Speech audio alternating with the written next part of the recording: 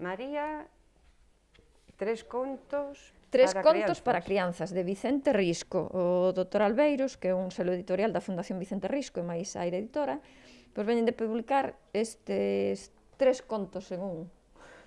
Ajá. Eh, Vicente Risco Porque serán estes... cobertiños eh, e, eh, claro, e podemos mira, facer un libro eh, con eh, son, eles. Bueno, con ilustracións de Noemi López, eh, edición e adaptación lingüística de Pardo de Neira, pois temos O Rei Avarento, Teño que ir pasando así, sí, sino, sí. para dicir os tres títulos. O labrego e máis o rei e a dona encantada.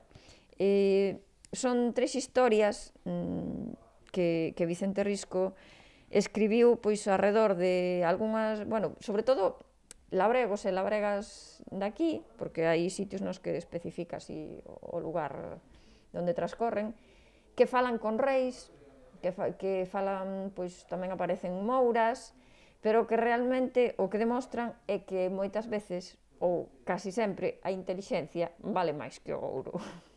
Así que tres contiños dos que podemos sacar, como dicir moitas veces, así unha É que a intelixencia unha mensaxe, un tesouro, por e, moito que, e que digamos. efectivamente, inda que non teñas cartos, moitas veces vale máis Te, ser non intelixente máis porque tes, saber como tes forma de atopar, eh, sí. tes forma de, de conseguir es, esa, uh -huh. ese, esos cartos.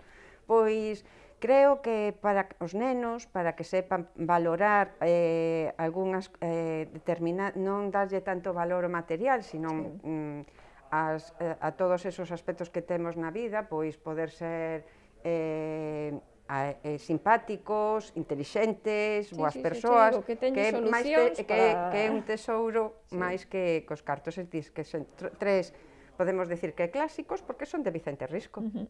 eh, sí, sí. Eh, e, e, eh, e pa ler, é dicir, pa nenos que poden ler os eles, e senón sí. lémolos sí, nos, non? tamén. E ti, eu non os coñecía. Ti coñecías estes tres eu contos? Linos, seguro que sí. Eu linos antes. Ya xa o leiches antes. Eu non os coñecía, así que tamén para todos, non só para os pequenos, sino, e ademais, cando os lemos, tamén tamén sirven para, para nós. Pois tres, tres contos para as crianzas de Vicente Risco.